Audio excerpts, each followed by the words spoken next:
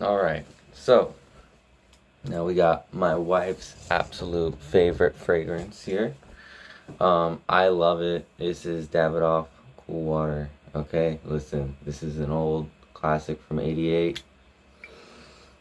Dude, you can't, I mean, look, you can pick this up on discounters right now. A bottle this big, this is a 4.2 ounce, 125 mil for $18 right now. Um, FragranceNet, um, FragranceBuy.ca, I think has it for $19 for one of these big ass bottles.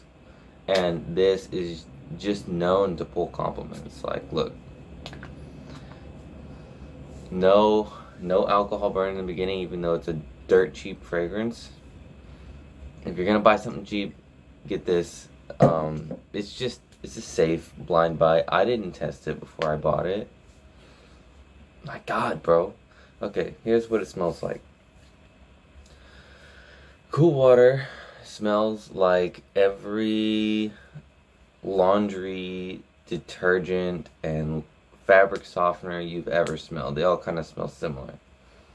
Because it was so popular as a fragrance that those companies decided to put that scent into their products. So you got on the top lavender mint, so similar to like um, uh, what's called Le Male. Uh, green notes, rosemary, coriander, seawater notes in the top. Um, middle notes, sandalwood, neroli, geranium, jasmine. The reason, like, why this is such a good summer, springtime fragrance, I don't recommend it for the fall. You could wear it year round. I mean, if you're indoors, it doesn't really matter, but um, I don't recommend this for fall or winter just because it's not strong enough. It does last good. It lasts for me about like five, six hours on my skin, so it's it's a decent, um, cheap fragrance.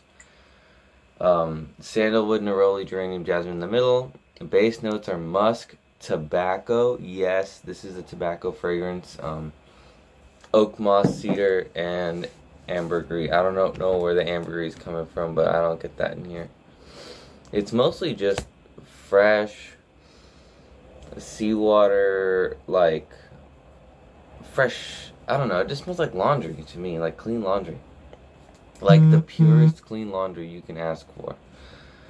Uh, they've compared it to um, Green Irish Tweed by Creed. Um, but I've heard that's a more complex scent, and this is like the generic version of it. But yeah, um, Cool Water uh, came out. Um, I think I don't know if Green Irish Tweed or Cool Water came out first, but I think uh, Cool Water came out after. It was like the same guy, the same guy who made Green Irish Tweed by Creed, uh, which is like a, a three hundred dollar fragrance. Um, made this, and they smell almost identical, just with cheaper ingredients in this, obviously. I recommend this for everyone. Um, problem is, is I've I've talked to people. I've been like, hey, what what kind of fragrance do you wear? Do you wear cologne? And they always mention that they wear this because it's just so popular. Um, most people, even like most dads, most uncles, most men know what this is. Um, it's been talked about in music. It's been talked about in movies.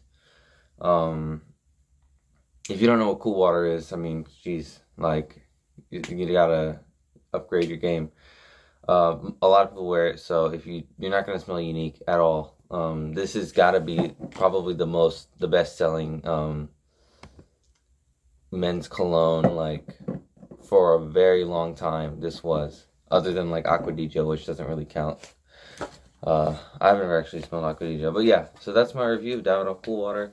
Definitely recommend you try it. Um, if you don't like it, if you want to smell a little bit different, um, by Très Nuit by Armaf. I heard it's a little bit more complex. Um, try Coty Aspen, maybe. Um, that might impress you a little bit more. Or just go with Le Male. Le Male is uh, better for the wintertime. Anyways, more reviews coming.